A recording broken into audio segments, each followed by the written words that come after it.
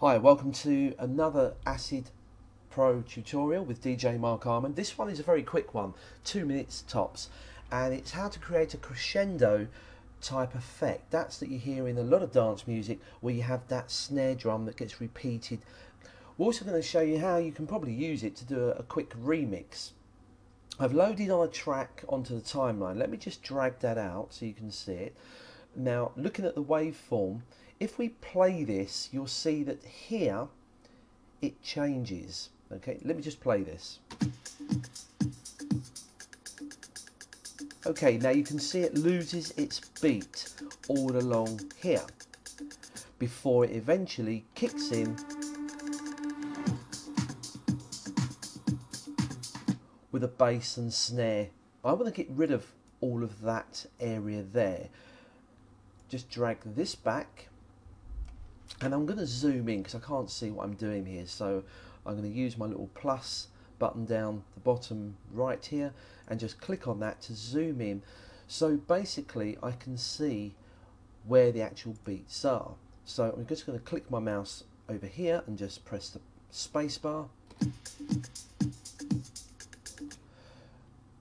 Okay so there we got this drum beat just there so I want to bring this back.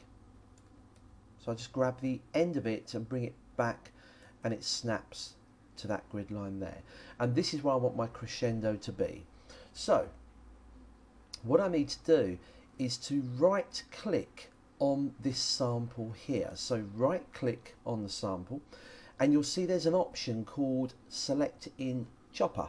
Now this tool allows me to select parts of a sample and chop it about basically. If we click on that, down the bottom you'll notice it opens up the full sample in there. Now I'm just interested in this beat here. So I'm just going to click my mouse down there and again zooming in by clicking on the plus here. There you can see here is that beat there. I've clicked at the end of this sample because that's where I want the crescendo to start. We then come down to here and highlight the part of the beat that we want. So I'm just clicking and dragging across the beat that we want to repeat. If we just play that, yep, that's okay. Here we've got a button called Insert.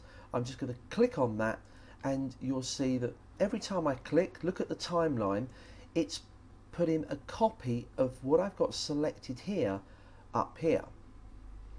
I'll do one more. So I've got four of those being repeated. Now, I then want to create the crescendo effect, the repeat effect. I need half of that sample. Now, if you look at these buttons along here, there's two buttons. One of them is called halve selection. The other one is called double selection. We want to halve it, so just click on this. What this does, it saves me having to mess around trying to work out where the half point is. So just click on that button. It halves the sample. I can then click on the insert button. Watch what happens to the timeline. Every time I click, it puts those on. I click on the half button again and choose insert. Click on the half button again and choose insert and you'll see that it's putting half of the selection each time. And I think that'll do but you get the idea. Now from this point what I want is to start after that break so I'm going to zoom out for this so I can see more of the track. There it is there. So that's the thing we want to get rid of. And it kicks in back up here. So let's just get rid of that.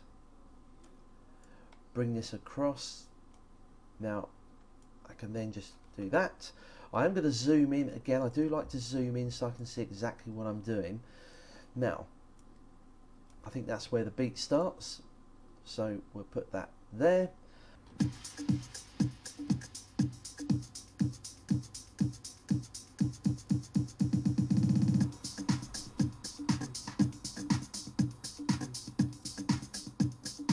And that's a very quick tutorial on how to do a little bit of remixing, but more importantly, how to create those crescendo repeat effects. Hope that helps. Any questions, leave comments. Enjoy.